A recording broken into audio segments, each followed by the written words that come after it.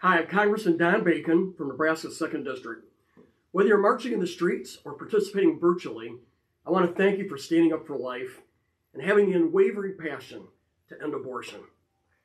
Our Declaration of Independence clearly states that every American has the right to life, liberty, and the pursuit of happiness. This includes the born and the unborn.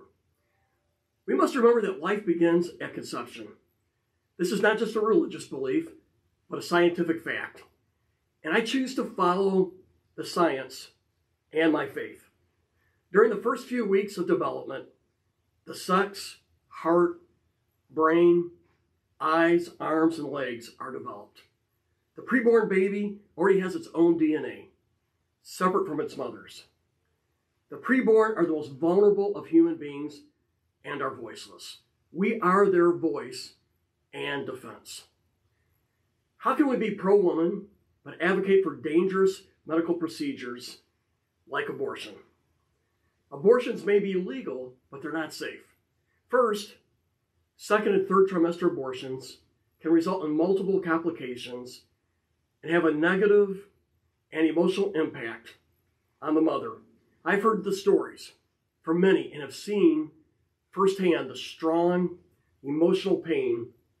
But thankfully, we do have a God who forgives and is full of grace.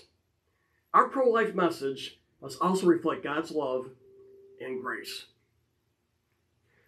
But we are called to action. Just because slavery was legal, it was not moral. And just because it was illegal for women to, to vote, it wasn't moral. And just because Jim Crow's separate but equal uh, was legal, it wasn't moral. And just because Roe v. Wade provides the right to end another life, it doesn't make it moral. Laws can always change, but the sanctity of every individual's life is timeless and unchangeable. Yes, the science of the preborn calls us to action, and our humanity demands it. But also, my faith in God motivates me to give my all for this cause. We are made in God's image, and that gives meaning to the sanctity of human life. King David tells us we are fearfully and wonderfully made. And the words of Jeremiah reminds us that God has a plan for all of us before we're even born.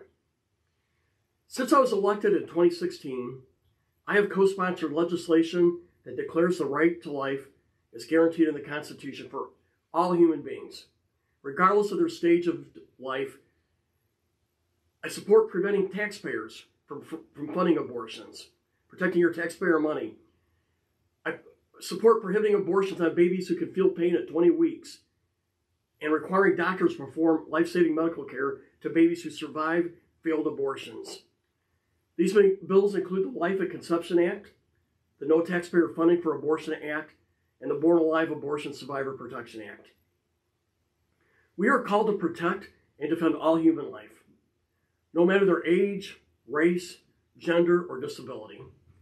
And it's my hope that we restore our humanity by eventually winning this war against abortion once and for all. Life is precious and it must always be protected. I pray that our country ends this immoral act and chooses life. May God bless you all, and thank you.